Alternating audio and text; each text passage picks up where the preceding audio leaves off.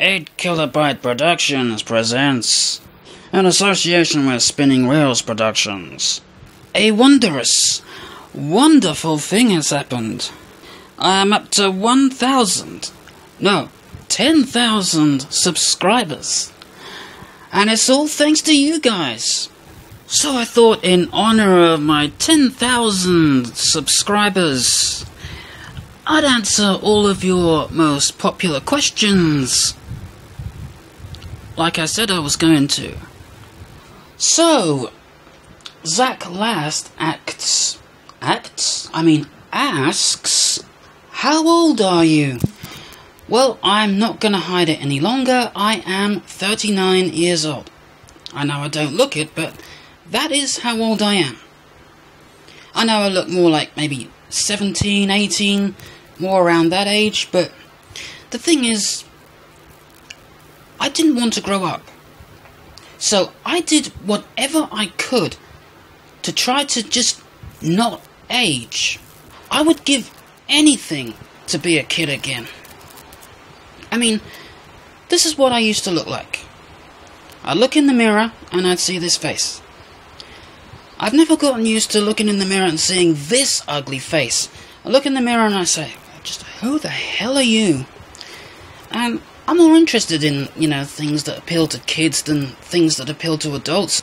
I'm basically just a kid and an adult body is just never grown up. So yeah, when I was about 12, I thought I would stay a kid forever and never age.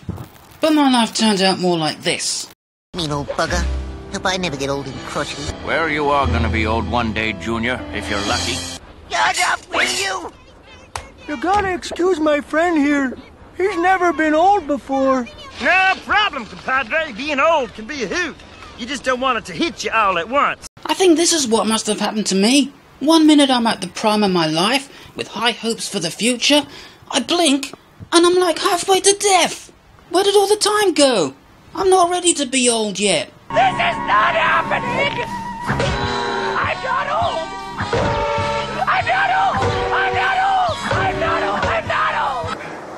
Could you let yourself turn into this? Brutal Pizza asks, Congratulations on 10,000 subscribers, Clem. Thank you. Do you have a favourite video game of all time? If so, why and what were some of your favourite games on it? Well, I'm not really much of a console person. We did have an Atari 2600, you know, like back in the early 80s, but I don't have that anymore. Although, I did have a PlayStation back in the day, back in like maybe 1998, I think I got it. And, you know, I didn't have very many games for it, but there was there was one franchise in particular that I did like, and that was the Crash Bandicoot franchise. My favourite of the lot being Crash Team Racing.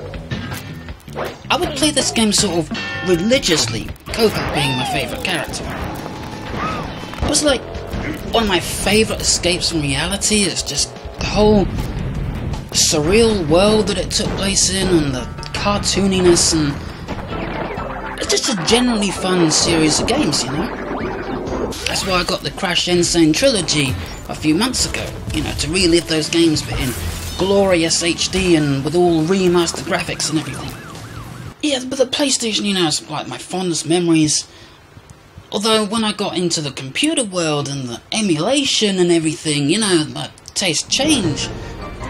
I mean, first there was The Simpsons Hit and Run, which became like my main escape from reality because, well, I was a huge Simpsons fan at the time. And I played this game like maybe three out of every four times. Mainly because I got to play as Lisa, and she's my favourite character on the thing because, well, I'm not gonna hide this, I used to have a bit of a crush on her, so that's one of the reasons. Then, of course, my taste changed to Sonic Adventure DX, and then finally Portal 2, which I play every night. But the thing is with Portal 2 is it's got this workshop where you can make your own levels and you can play other level you know you can play levels that other people have made which is that's the main reason I play it you know it's got all that replayability value with the workshop and everything but for consoles that I discovered through like emulation I would say probably the GameCube It's probably my favourite console now, even though I've never owned one, but I've played on one through an emulator it's, with all the great games and everything. So, yeah, it's a little bit hard to decide, but let's just go through a rundown of pretty much all the games I played.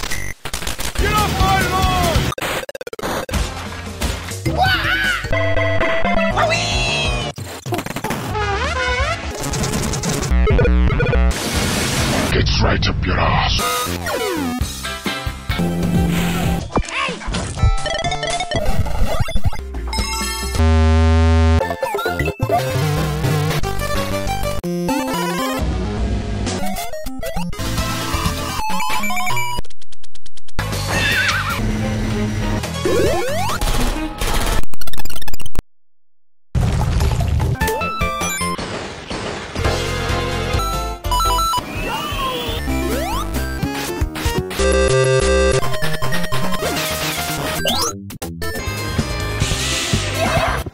Have noticed that there are no, like, first person shooters or realistic violent games. Because the thing is, take a game like this. To me, this does not look like a game. The graphics look far too much like real life. And, you know, this just doesn't even remotely look like a game to me. This kind of stuff just doesn't appeal to me. This is the kind of stuff that appeals to me because it actually looks like a game. It doesn't look like real life, and that's how I like my games. James Butchert, and I'm probably butchering your name here. Sorry if I am. Hey Clem, was there ever a third tape recorder video done from your generous donation videos a couple of years ago? I love all things reel to reel. Well, in answer to your question, yes, there was a third tape recorder, I just never made a video of it. And here it is. Sony. This is a Sony TC252. In fact, Cassette Master has one of those as well. I just never got around to doing a video of that because I think I thought that a lot of people weren't really interested in tape recorder videos anymore, and this camera's gone way off center, but yeah, I'll probably do a video of that in the near future. Mmm, good stuff, or however you say it. Congratulations on the 10k. Thank you. Can I ask what video editor you use? Thanks. Certainly. Adobe Premiere 6.5. Now, I've had this video editor ever since 2003. I, I used to use Windows Movie Maker before I got it, and I wasn't really all that impressed with it. And when I got Adobe Premiere, it just blew me away. It was just so much more advanced, and I could do so much better. And here's the thing: it didn't crash like a um, like Windows Movie Maker did. Now, I also have Shotcut as well, which is sort of like my backup video editor, but mainly I do all my editing on Adobe Premiere. In fact, this very video has been edited on Adobe Premiere. Even though it's, you know, despite its age, I can still do full 1080i video on it. Um, I could also do 1080p, but I'd only get 30 frames a second max if I did that. But 1080i at 50 or 60 frames a second, it's no problem. Pumpkin Strikes Back says, Happy 10,000, thank you. Here's my question Do you ride a bike or drive a car? Well, um, I don't drive. I think if I did drive a car, if I did try to learn to drive a car, I've picked up so many bad habits from video games, I don't think they would be happy with that if I did that in real life. I do have a bike though, and here it is. So this bike here I made from all bits and pieces of different bikes put together. I did actually have a bike before this that I made out of bits and pieces, but that got stolen, of course. Parked it outside Tesco, went in. When I came out again, it wasn't there. And you might think this looks a bit weird with the BMX handlebars on it, but the thing is, when I ride a bike, I like to ride in comfort. I don't like to ride with my ass five miles in the air or my knuckles dragging on the ground like you do with adult sized bikes. So that's why I put these BMX handlebars on it, so I can ride in an upright position. I don't like to ride all hunched over, it's not comfortable. Not comfortable with all my weight shifted onto my shoulders. Chris Key asks, looks like you're a nice happy couple there. Happy 10,000 subscribers. Thank you. Long time subscriber. My question is, what have you done with your shed full of electrical equipment? Also, are there any more vlogs coming our way? Well, I was going to do some more vlogs. It's just that the weather has been kind of crappy lately. I mean, we had a nice heat wave in February, you know, temperatures up to like 20, and Easter the temperatures were nice and warm, but now they've kind of gone bad, although they are slowly on the rise again. So when the temperatures get up into the 20s again, like they should eventually do, yeah, I'll be probably doing some more vlogs and ranting about things while I walk and talk to the camera. As for that shed full of electrical equipment, you don't want to go in there. I mean, most of that stuff is still there. It's just, it's a complete mess. And uh, a couple of our neighbours have put all their stuff in there as well, and so I cannot really do anything until that's all gone. So, yeah, eventually I'll get round to it. But Joey Mack asks, "Do I have a job?" And the answer to that is no. I do not have a job. You see, when I was in school, I made a promise to myself that when I get out, I am going to catch up on all that time that I wasted in school, quote unquote, learning about things I didn't even care about. I say learning because they didn't actually teach you anything. Well, when I was in school, they didn't teach anything, you know. They just, like, here's a workbook, here's another book to put the answers in, get on with it, and that was basically their form of teaching. You know, they didn't teach the facts of life, you know, this is this and that is that. No. Here's a workbook, get on with it. And that was basically what, oh, that was basically what they did. I mean, do you call that teaching? I certainly don't. So, I made a promise to myself that when I finally get out of school, which was a long, long, long, long, long time ago, I would first catch up on all that time that I wasted in there, and then I would start my own business. I was going to get into, first, I was going to get into making video games, although I couldn't figure out how to code, so that didn't really turn out too well.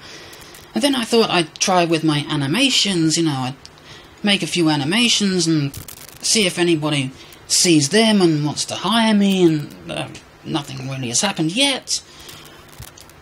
If I knew how to get my animations out there, I mean, I thought that putting them on YouTube would probably attract some talent scouts who were looking and they would discover it, but that doesn't seem to have happened, so I really don't know what else I could really do.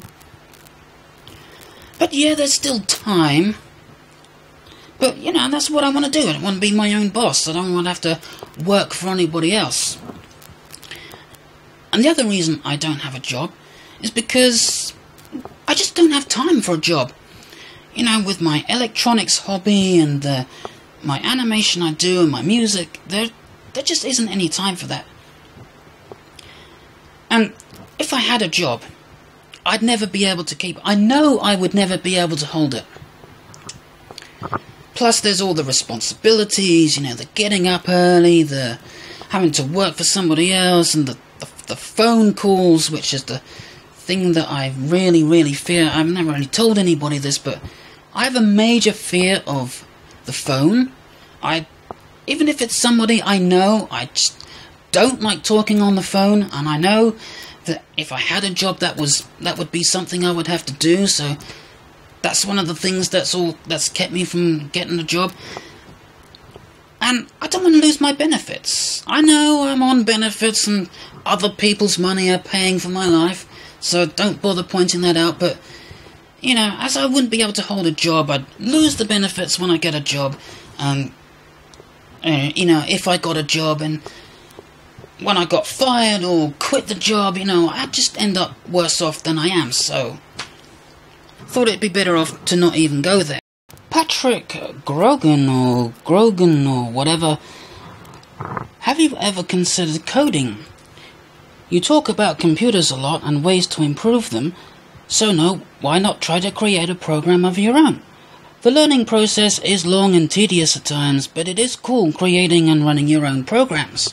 Well, I have had a look at coding, but I looked at coding and thought, ah, I'm not going to do that. Although that was my um, response to trying to learn machine code on the um, Z80 machine code back in the day. Although I did master BASIC, and I have made quite a few programs in Amstrad BASIC on the Amstrad CPC. As a matter of fact, here is a game I made when I was a kid. It's about one of the only ones that survived. And yeah, it's this game you sort of run and jump and collect diamonds and blow up walls that are in the way with bombs and yeah, I found this back in like 2004. I made a few improvements to it. You know, added a menu, well, not menu, but a title screen and some music to it. And if I find if I find a way to upload this, you know, so you can play it, and if you want to play it, of course, you will need an Amstrad emulator to play it on, though.